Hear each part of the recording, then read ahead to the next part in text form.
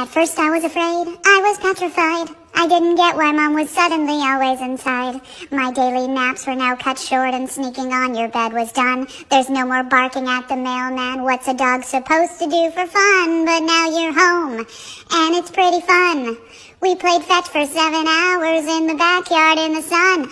I get belly rubs and treats. I never have to hold my pee. I don't know what a pandemic is, but it sure is good for me. So let's go. Let's walk out the door. We've already had four walks a day and we'll probably do three more. In a time of stress, you can rely on man's best friend. And while I hope the world recovers, I'll be sad when this all ends on the bright side. The pets will thrive. Every day that you are here with me is the best day of my life. If you stay, I won't eat all your shoes. I'll even stop the indoor poos. The pets will thrive. The pets will thrive. Hey, hey. Luna, can I get an I love you? You're such a good girl.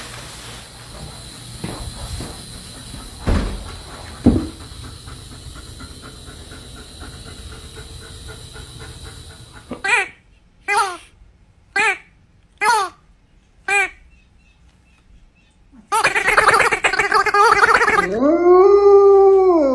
that your beautiful baby? Is that your best friend? You love him, Ella? Say love you, Thor. Say good papa.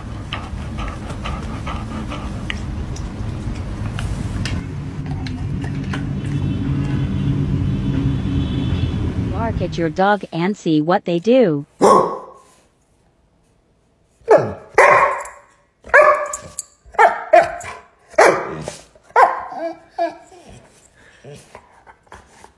Kiss your dog on the head and record their reaction. Show your baby as a newborn versus now.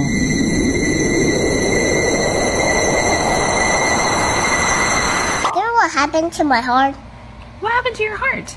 Well, when the first time I told you, I, when I saw you, my heart fell in love with So you. I got in the car with my dog. But if that's my dog,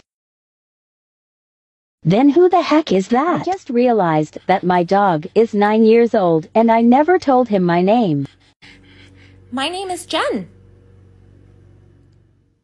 What do you have? Um, here's the bill for the vet today. Um, not really sure how you're going to pay that one. You do actually live here rent free. I do buy your groceries, so you know maybe get a job, contribute to society a little bit. This is getting ridiculous. Tip. Make sure to hang up your dog after a walk. That way they won't get wrinkly. Some dog racks double as charging stations.